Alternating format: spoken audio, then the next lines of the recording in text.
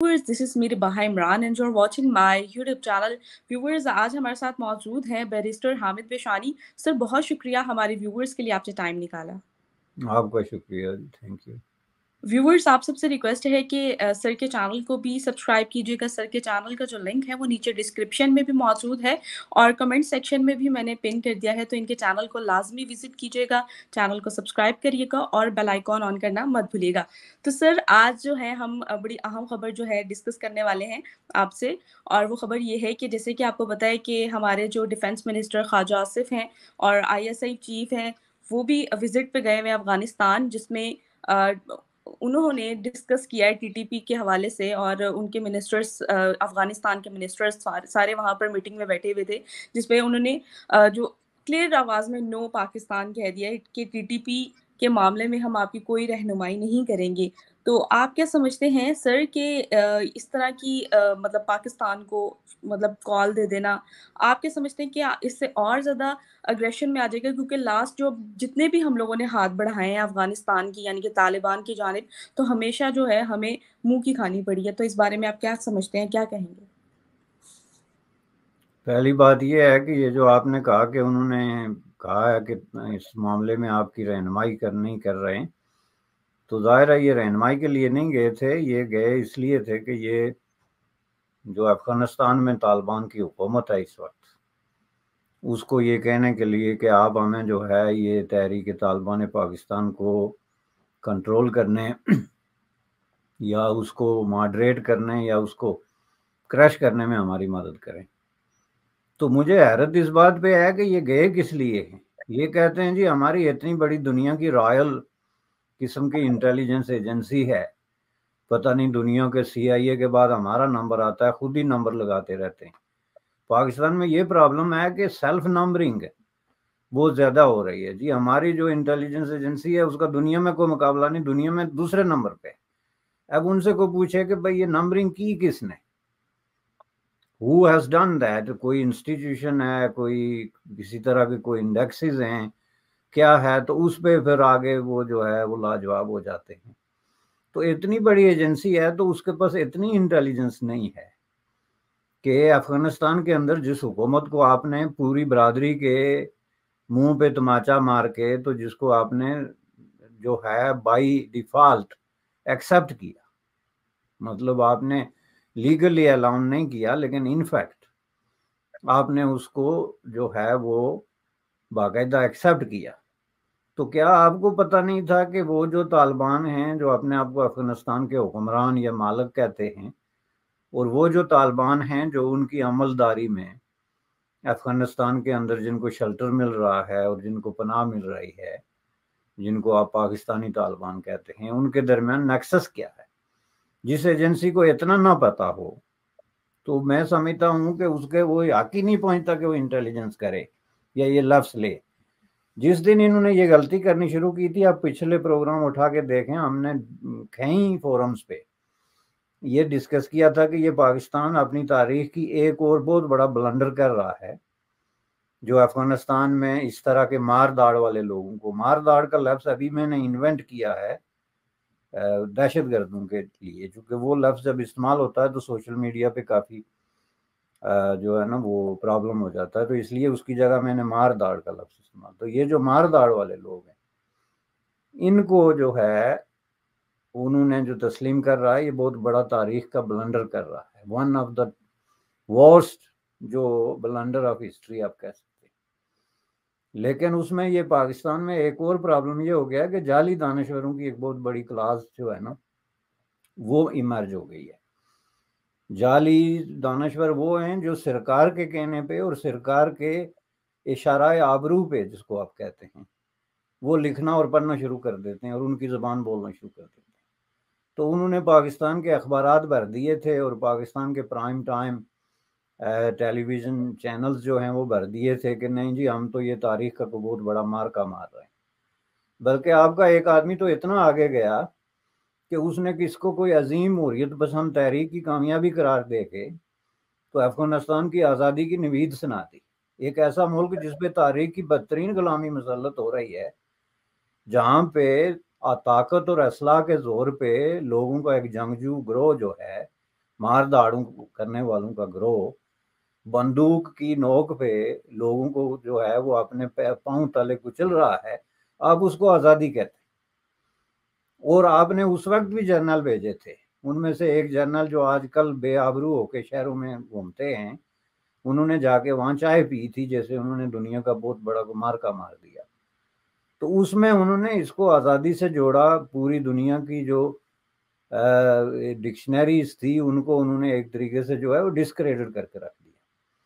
क्योंकि पूरी दुनिया में जो आज़ादियों की डेफिनेशन होती है, वो सिर्फ़ ये नहीं होती कि आपने गैर मुल्की अफवाज निकाल दी उसके साथ फिर ये पूछा जाता है कि आपने गैर मुल्की अफवाज निकालने के बाद क्या किया? क्या आपका जो रूप है, आपके जो हरकत व सकनात हैं, आपकी जो एक्टिविटीज़ हैं, वो गैर मुल्की फ़ौज से ज़्यादा है? खौफनाक और ज़्यादा बेरहम और ज़्यादा जो है वो कत्लो गारत पे मबनी है या नहीं? क्या आपने अपने मुल्क में जो आम शहरी है, उनको उनके हकूक लौटा दिए या नहीं? क्या आपके मुल्क में आपने जो औरत की आज़ादी, उसकी एजुकेशन यूनिवर्सिटीज़ में उसको पढ़ने का जो हक है, वो उसको लौटा दिया या उससे छीन लिया? तो आपने अफ़गानिस्तान को एक तारीख ज़माने का एक कुरून वस्ता, जिसको आप कहते हैं कुरून ओला के ज़माने की जो तारीखियाँ हैं, वो उस पर मसलत कर दी और उसको आपने जो है वो कब्जा करके तो उसके ऊपर हथियार बंद लोग बैठ गए, जो कोई वज़ीर खारजा है, कोई वज़ीर पता नहीं क्या है को क्या है। वो पगड़ियाँ पहन के तो घूमना शुरू हो गए कि जी हम दुनिया के पता नहीं कौन से कितने पाकिजा और बरगजीदा किस्म के लोग हैं। तो आपने उसको आज़ादी का नाम दिया। और ऊपर से आप उनसे तो रखते हैं कि उनका जो नेक्सस इस तरह के मार दाड़ वाले लोगों के साथ है, वो नेक्सस वो तोड़ देंगे। क्योंकि आपने उनको बहुत बड़ी लिफ्ट करा दी, वो तो they don't give a damn उनको इससे मतलब ही नहीं कि आप क्या करते हैं। उन्होंने तो ये देखना है कि उन्होंने इस दुनिया में ज़्यादा से ज़्यादा बदामनी, ज़्यादा से ज़्यादा रुजत पसंदी, ज़्यादा से ज़्यादा खौफ व हरास, और ज़्यादा से ज़्यादा लोगों के दुख दर्द में कितना इजाफा करना है। लोगों को किस तरीके से जो है उनके बुनियादी हकूक और शहरी आज़ादियों से महरूम करना है, औरतों को किस तरह यूनिवर्सिटियों में जाने से रोकना है हॉस्पिटल्स में जाने से रोकना है, जो भी सर्विसेज़ खातन, रवायती तौर पे अफ़गानिस्तान में सर अंजाम देती रही है। तो उसमें ये बात हमने उस वक्त भी कही थी कि ये सब लोग एक लोग हैं, इनके मुख्तलिफ़ नाम हैं। कोई इंटरनेशनली किसी नाम से जाना जाता है, उनको न इराक में उनका अलग नाम है, पाकिस्तान में अलग नाम है, मिस्र में अलग नाम है लेकिन बुनियादी तौर पे उनका फोकस, उनका नज़रिया एक है और अंदर से उनके अंदर एक नेक्सस है। ये जो बैन अवी मार दाड़ वाली तंजीमें बनी हुई हैं, कत्लो गारत गरी वाली, इनके अंदर एक ही तरह का जो है वो सोच और एक ही तरह का अगर डिसिप्लिन नहीं है तो ज़रूरी नहीं। उन्होंने खुद उसको जो है वो लूज किया हुआ है डिसिप्लिन को, क्योंकि उसकी वजह से उनको ज़्यादा ईजी ऑपरेट करने में और जो है अपने जो मजमूम मकासद जिसको कहते हैं, उनको प्रोमोट करने में आसानी होती है। इसलिए ये कोई बात नहीं कि डिसिप्लिन डिसिप्लिन से मुराद ये होती है कि एक ऑर्गेनाइजेशन मसन तहरीक तालिबान पाकिस्तान की नाम से अफ़गानिस्तान में है तो उसका सदर कौन है या सेक्रेटरी जनरल कौन है, जो हायर की होती है तो वो उनके लिए इंपॉर्टेंट नहीं असल चीज़ ये है कि वो सब एक ही लोग हैं, उनका एक मकसद है और अंदर से उनके दरमियान बहुत करीबी किस्म का तावन है और वो अपने आप को एक ही ऑर्गेनाइजेशन समझते हैं, क्योंकि बॉटम लाइन ये है कि वो अपने आप को अल्लाह के सिपाही समझते हैं।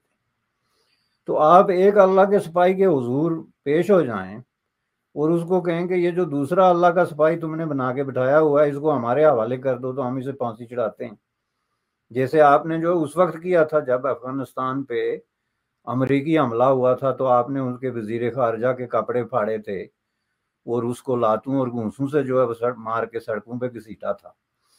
तो उस वक्त भी आप ये काम कर रहे थे आपको तो माजी में याद ही नहीं रहता इन लोगों को कि इन्होंने माजी में कैसी कैसी हरकत की हुई है और क्या क्या जो है अशर किया हुआ है। तो ये समझते हैं कि ये तालिबान इन पे दोबारा अतमाद करेंगे। मुल्ला ज़ाइफ की किताब उठा के पढ़ लें।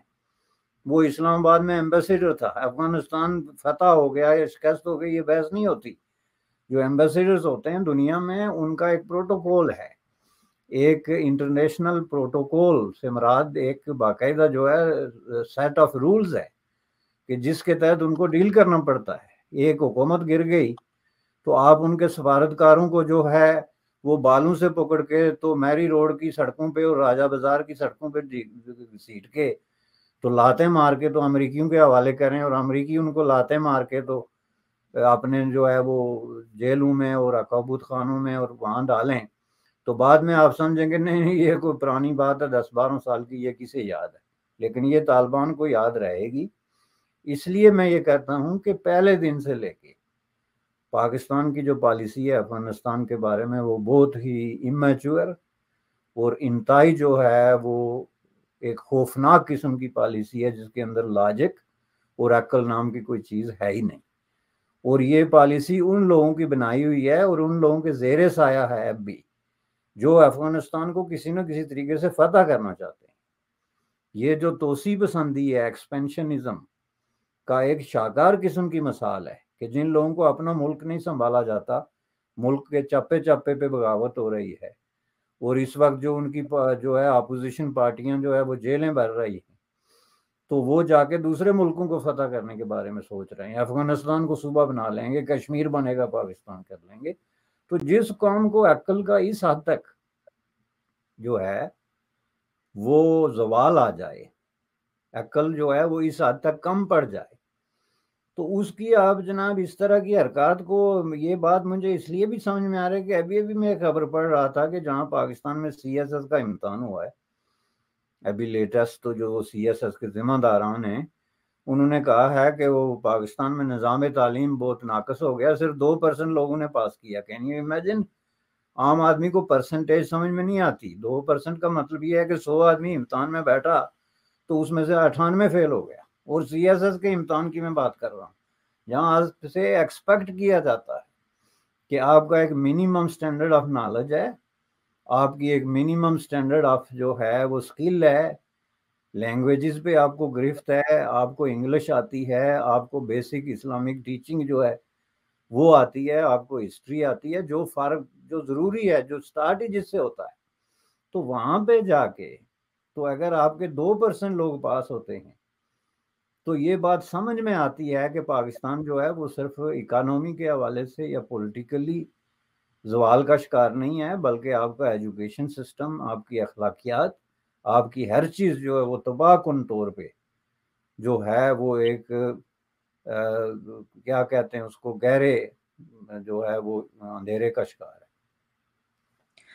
बिल्कुल सर। सर ये बताइएगा कि आपको पता है कि आईएमएफ जो है वो पाकिस्तान को कोई इस बार अच्छा रिस्पांस नहीं पाकिस्तान को दिया और दूसरी जानब पाकिस्तान और अब एक फैमिली है, बहुत ही रिच फैमिली है रूथ चाइल्ड के नाम से और वो अ, कहा यह जा रहा है यहूदी फैमिली है कहा यह जा रहा है कि पाकिस्तान की मतलब पाकिस्तान उनसे रिक्वेस्ट की है कि पाकिस्तान को इस क्राइसिस से निकालने के लिए वो इनकी हेल्प करें। तो यहूदी फैमिली जब आ, हम आ, बात कर लेते हैं मतलब कोई भी फ़लस्तीन का मामला हो या इस तरह का मामला हो तो हम कहते हैं यहूदी लॉबी है यहूदी लॉबी है। तो अब जब हम हेल्प पैसों की मामला आए जब उनसे हमने एड या कर्जा लेना है तो आ, तब वो यहूदी नहीं था। तो क्या कहना चाहेंगे कि आज पाकिस्तान जो है उनसे हेल्प के लिए आगे बढ़ रहा है? और क्या वो पाकिस्तान को नज़र नहीं आ रहा कि वो यहूदी फैमिली वरना तो बड़ा बढ़ चल, चढ़ के कहा जाता ना कि यहूदी यहूदी लॉबी है, ये नहीं करना, वो नहीं करना। पाकिस्तान ने जो है वो उन्नीस से लेके तो एक हाथ में खंजर और दूसरे में कशकोल पकड़ा हुआ आपका क्या ख्याल है कि ये यहूदी फैमिली क्या है? आईएमएफ क्या है? आईएमएफ इटसेल्फ जो है, वो क्या चीज़ है? उसके किस तरह की जो है, वो सेटिंग है? उसमें कौन कौन से मुल्क शामिल हैं? जो अमरीकी कर्जे आप लेते रहे, वो क्या चीज़ है? दुनिया में ये झगड़ा चल रहा है, दानश्वरों के दरमियान के दुनिया में सबसे ज़्यादा पैसे मिस्र ने लिए या पाकिस्तान ने लिए अमेरिका से? तो बात यह है कि आपने योदी ईसाई, कोई और जो मज़हब है, वो पैसे लेने के मामले में आपने किसी को नहीं बख्शा। जो भी कोई जो है आपके कशकोल में कुछ फेंकने के लिए तैयार है, उसका मज़हब आप नहीं देखते। वो चूँकि आपने लेना है, लेकिन जब बात इंसानियत की आए तो आपके अंदर जो है वो मज़हब जाग जाता है। फलस्तीनियों के साथ सबसे ज़्यादा जो है वो धोखा जो है वो पाकिस्तान के हुक्मरानों ने किया है माजी में, और उसमें वेरी फ्यू एक्सेप्शन हैं। ये ड्रामाबाजी अब बंद करें कि हम फलां कॉन्फ्रेंस में गए थे और फलां में नहीं गए थे। तो हमने इसराइल को तस्लीम नहीं ये ड्रामा, यही ड्रामा है।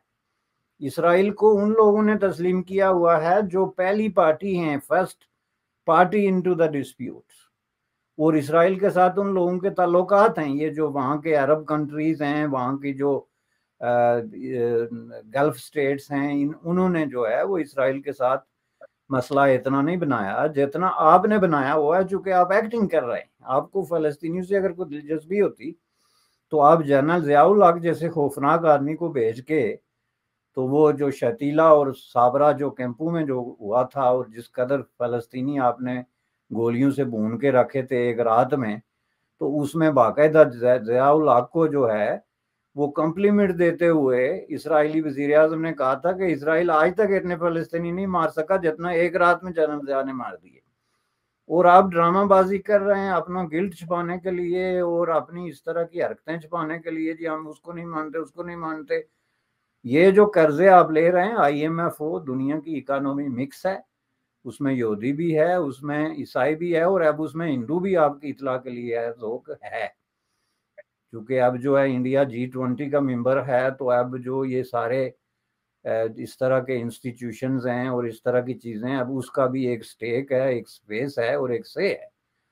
तो इस तरीके से ये पैसे जो है ना, इन पे मज़हब की मोहर नहीं लगाई जा सकती। मैं, मुझे इस पे कोई एतराज़ नहीं कि वो यहूदियों से पैसे मांग रहे हैं। आई डोंट नो कौन सी फैमिली की आप बात कर रहे हैं। मैं तो नहीं जानता उनको, लेकिन जो भी फैमिली है, उसका जो भी मज़हब है, पाकिस्तान इस मामले में मज़हब से बहुत ऊपर है। पाकिस्तान मज़हब के मामले में उस वक्त नीचे आता है जब उसने नफरत फैलानी हो, तसब फैलाना हो, लोगों को मिसगाइड करना हो या लोगों के अंदर इश्तियाल अंगेजी पैदा करनी हो। और इसमें पाकिस्तान का दानश्वर, उसकी इंटेलिजेंसिया सब शामिल है। जैसे अभी जावेद अख्तर के केस में उन्होंने एक राई का पहाड़ बनाने की कोशिश की। दुनिया की सबसे सेंसेबल तरीन बात अगर कोई तकरीर को आदमी कर सकता है, इंडिया का तो वो जावेद अख्तर ने की है। और उसको तोड़ मोड़ के तो वो जो आपके इंटरेस्ट ग्रुप्स हैं और हेटर्स हैं, उन्होंने कान खड़े किए हुए हैं और भाग रहे हैं कि जनाब ये हो गया, वो हो गया, ये सारी चीज़ें जो होती हैं, इनको देखना पड़ता है। मुल्कों और रियासतों के दरमियान ताल्लुक जो हैं, अगर आप मज़हब की बुनियाद पर खड़े करेंगे या लेन देन के मामला आप मज़हब की बुनियाद पर करेंगे तो ये तजर्बा आपने 1947 से कर लिया। सत्तर साल हो गए और उसका जो नतीजा निकला वो आपके सामने है, जिसमें आपने सिर्फ़ ये तय करना है कि हमने बैंक आज करनी है या कल करनी है। बिल्कुल। तो सर अभी आपने रिसेंटली एक इंडिया के जो खारजा मतलब फॉरेन मिनिस्टर हैं, अगर बात करें एस जयशंकर की डॉक्टर एस जयशंकर उन्होंने अपने एक इंटरव्यू में ये पाकिस्तान के लिए कहा मतलब एक खातून थी या एंकर थी, उन्होंने उनसे पूछा कि पाकिस्तान की, जो पाकिस्तान में क्राइसिस चल रहे हैं, क्या पाकिस्तान की आप हेल्प करेंगे? जिस तरह की आपने श्रीलंका की की थी। तो उन्होंने आगे से ये रिस्पॉन्ड किया कि ये पाकिस्तान के एक्शंस पे डिपेंड करता है कि मतलब एक्शंस पे डिपेंड करता है कि पाकिस्तान की आने वाली कंडीशन कैसी होगी।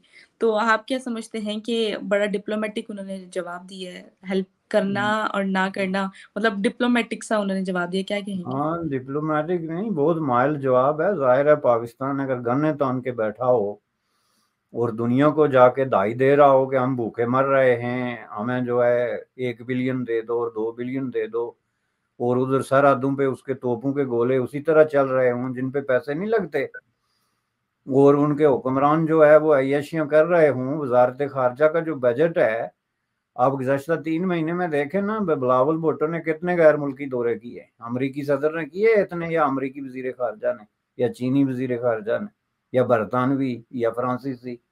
आप बेच क्या रहे हैं भाई? आपका दुनिया के साथ लेना देना क्या है कि आप जो है वो तीन महीने में बीस दौरे करते हैं? ट्वेंटी टूर्स और इसमें लोगों को बताया ये जा रहा है, जी मैं अपनी जेब से देता हूँ, भाई अपनी जेब से तो तुम बारह सौ डॉलर का टिकट देते हो। लेकिन आपके जो खर्चे हैं, जिसकी वजह से पूरी वजारत खारजा एक्टिवेट होती है जो एम्बेसीज आगे एक्टिवेट होती हैं, जो फ़ंक्शंस होते हैं, वो तो आप जेब से नहीं देते। अब इसका मतलब क्या है? कि आपके हुक्मरान जो है, वो लोगों को इडियट समझते हैं और उनको जानबूझ के तो उनके साथ इडियट जैसा सलूक करते हैं। चूँकि अवाम ने आज तक कहीं नहीं ये शो किया कि वो इडियट नहीं है। या तो वो एक दफ़ा इनको शो कर देते ना। कि जनाब आए इस इलेक्शन आ रहे हैं तो अब हमारे हाथ में आ गया वोट तो अब हम आपको सबक सिखाते हैं कि हम इडियट हैं या नहीं। तो इसलिए ये चीज़ जो है, मेरे नज़दीक ये एक बड़ा क्लियर किस्म का मसला है कि पाकिस्तान में बादस्तूर अयाशी का अड्डा खुला हुआ है। लोगों की आँखों में जो है धूल झोंकी जा रही है। अब ये लोगों को बेवकूफ़ बनाने का इससे बड़ा तरीका क्या होगा कि हमने कैबिनेट के खर्चे काट लिए। भाई, कैबिनेट में कितने आदमी हैं? Less than hundred let's say two hundred. तो टू हंड्रेड आदमी का आपको किसने कहा कि खर्चा जो है उसकी वजह से पाकिस्तान फाइनेंशियल क्राइसिस का शिकार है? पाकिस्तान तो फाइनेंशियल क्राइसिस का शिकार है। एक group of segment of society एक क्लास ऑफ़ द पीपल जिन्होंने मुल्क पे कब्जा किया हुआ है और उनकी तादाद एक हज़ार से ज़्यादा नहीं है कि जो किसी न किसी तरीके से उस मुल्क को जो है वो खोद खोद के तो खा रहे हैं। उसकी तरफ़ तो आप जा नहीं रहे। तो कैबिनेट के में जो पहले आपने लिए हुए हैं, वो तो आप लोगों को पहले ही पाँच पाँच करोड़ ले दे के तो उन्होंने आपसे टिकट लिए उन्होंने तो इस मुल्क को इतनी बेदर्दी से लूटा हुआ है कि आइंदा सौ साल तक उनकी नस्लें भी अगर जो है वो मुफ़्त काम करें तो उन पर असर नहीं पड़ता और उनकी तादाद सौ से ज़्यादा नहीं। लेकिन जिनका आपने काटना है, जिसमें सिविल और मिलिट्री ब्यूरोक्रेसी है जिसमें जो है वो सरकारी अफसरान की अयाशियाँ और परमानेंट किस्म का उनका एक लाइफ स्टाइल है, जो अनमैचिंग है दुनिया की किसी भी कंट्री के साथ इवन डिवेलप तरीन के साथ भी अनमैचिंग है। अगर किसी ऑफिसर को आप बताएँ, सत्रहवें स्केल के इक्वल को अमेरिका में कि पाकिस्तान में तुम्हारे बराबर का आदमी इस तरह रहता है तो वो पूछेगा कि वो किंग होता है या ऑफिसर होता है। तो आपकी हालत ये है, आप अवाम को बेवकूफ़ समझते हैं और अवाम हाथ जोड़े आपके पीछे पीछे भागते हैं तो ये प्रोसेस जो है ना, ये जारी रहेगा, इसने ख़त्म नहीं होना है। ये जारी रहेगा और ये खुद अपने लॉजिकल एंड को पहुंचेगा। और मैं दोहराता हूँ लॉजिकल एंड और ये लोग एक दूसरे से पूछ लें कि इन मामला का लॉजिकल एंड क्या होता है? बिल्कुल। तो सर अभी मैंने एक रिपोर्ट देखी जिसमें बिल गेट्स जो हैं वो ये इंडिया को कह रहे थे कि बल्कि प्राइम मिनिस्टर को ये कह रहे थे इंडिया के प्राइम मिनिस्टर को ये कह रहे थे कि मुझे इंडिया की तरफ़ देख के ना बड़ी होप्स मिलती हैं। तो ये एक बड़े एज़ाज़ की बात है, आप इस बारे में क्या कहेंगे कि जबकि पाकिस्तान तो इंडिया के बारे में अच्छी बात कोई कर दे तो आप लोगों को आग लग जाती है। तो इसमें तो कोई वैसी बड़ी बात नहीं बिल गेट क्या पूरी दुनिया इस वक्त इंडिया की तारीफें कर रही है? तो उन्होंने अपने आप को तारीफों के काबिल बनाया तो कर रही है ना? इसी इंडिया की बीस साल पहले किसी ने तारीफ़ नहीं की। कोई किसी से कहे कि जी वो इंडिया तो कहते हो दैट पुअर कंट्री खुद इंडियन कहते थे वो यार पुअर कंट्री उन्होंने मेहनत की कोई दिमाग इस्तेमाल किया उनके हुक्मरानों के कपड़े देखें उनका रहन सहन देखें डाउन टू अर्थ लोग हैं, अपना काम करते हैं, अवाम के साथ जुड़े हुए हैं, उनकी तरह रहते हैं, उनकी तरह खाते पीते हैं। आपने तो किंग्स का एक अरेस्टोक्रेसी का एक मुल्क क्रिएट किया हुआ है तो आप चाहते हैं कि लोग आपकी भी तारीफ़ करें तो ये फिर अब क्यामत तक नहीं होगा। बिल्कुल। सर बहुत शुक्रिया आपके वक़्त का और व्यूवर्स आप चैनल को ज़रूर सब्सक्राइब कर लें, वीडियो को लाइक करें, शेयर करें और बेल आइकॉन ऑन करना मत भूलिएगा। अपनी राय का इज़हार नीचे कमेंट सेक्शन में ज़रूर करिएगा। हमें दें इजाज़त। Thank you so much. Thank you ji आपको